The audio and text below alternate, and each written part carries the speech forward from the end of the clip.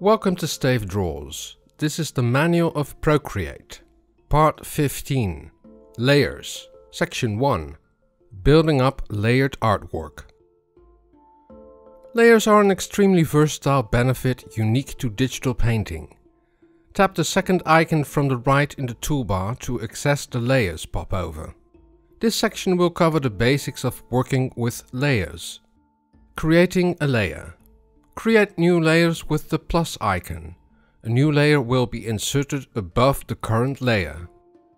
You can also create a new layer between two layers by pinching them apart. If you want to know more about gestures in Procreate, go to part 3 in this playlist. Moving layers. Rearrange layers with a tap and hold. To change the order of the layers, hold the layer and drag it up or down. Release to set the new order. Layer visibility. Turn a layer's visibility on or off by tapping the left aligned circle. If a layer is hidden, it cannot be drawn on. If you try to draw on a layer that's hidden, you'll be notified via a simple dialog. Blending layers. Artists familiar with desktop painting will be at home with Procreate's many blend modes.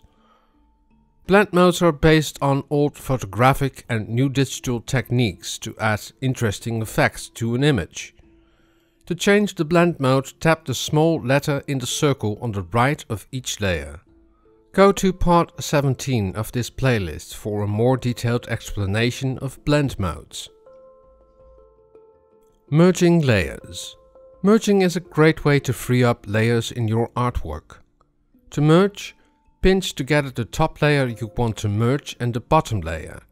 Every layer in between will be merged into one. Merging will apply any blending mode to pixels below and will also disregard any alpha lock. If you reach your layer limit, look through your layers for any you are happy with to merge together. It's best to merge only once you're happy with what you've drawn. Background layer. Procreate gives you a free layer to place a solid color of your choosing underneath your canvas. To change the color, tap on the background layer at the bottom of the layers panel. You can choose any color you like and access any favorite you have saved along the way. In some cases you may want to turn the layer off to export a PNG with transparency. To do this, tap the layer visibility icon as per turning off a normal layer. You will then see the grid background, which indicates transparency. If you want to know more about Procreate, just visit my playlist and the playlist has all the topics about Procreate.